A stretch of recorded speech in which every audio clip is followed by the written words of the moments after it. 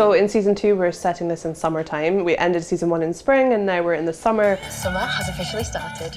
We're gonna have so much fun. I think Anna, the, the head writer, and I loved the idea of summer because it really represented this possibility of growth and change. And we definitely see that with the twins. We see that with Nina and Keedie. They're making big decisions about their future, like lots of young people are in this country and um, all over the world. They're thinking about what they're going to do next and all the pressures that come with that. Again, like Addie, they're feeling a little bit of pressure, and um, you know maybe they're going to go in different directions. What? Um, I'm just thinking about Addie. I mean, we've both done our best to protect her, but have we done enough? Enough for what? When we're not here. Are we dying? I'm serious, Keeds. I mean, I know uni feels like ages away, but you have to start thinking about it. I'm not even sure if I'm gonna go. Well, maybe the uni fair tomorrow will help you decide. You know, it's a big choice, Keeds. You can't hide from the future. I can hide from anything.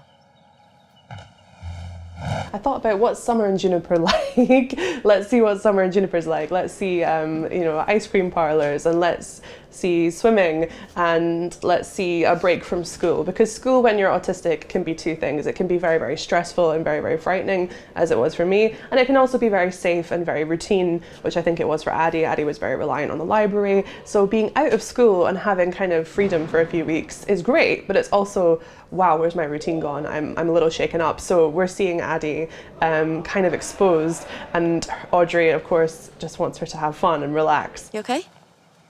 Sorry. I just, um, the summer holidays can be hard.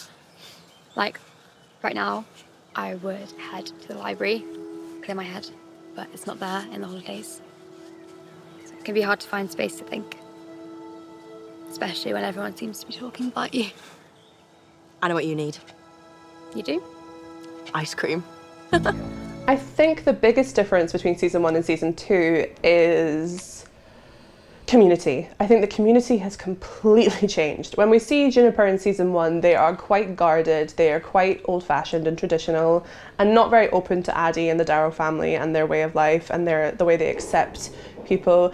We've managed to avoid the latest Darrow family nonsense. No, no, I, I warn them to be on their best behaviour. You know, we won't have any trouble. In season two, we see the community desperately trying to be the perfect village and to really, re- really represent Addie and to really embrace her. And that's when we meet Bonnie, this incredible new character who doesn't, who doesn't believe that the village is capable of such a thing.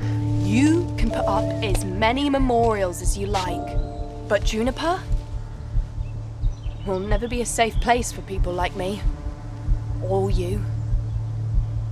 Sorry. As the season goes on, I think we see that community can mean so many different things, and actually, Juniper has improved in enormous ways for everybody. This community member is on board. And me. Uh, and me, whatever is actually happening here. I think also we're seeing a lot of joy this season. We're seeing, you know, a lot less to do with school. It's a lot more about being with your friends and being um, and having to figure out who you are outside of school and outside of work, and and it's um, it's more about freedom. And I think that's a big change. We're not we're not um, visiting the past this season. Um, we're very much rooted in in, in the present. Um, but we do have some familiar faces um, in new roles as well.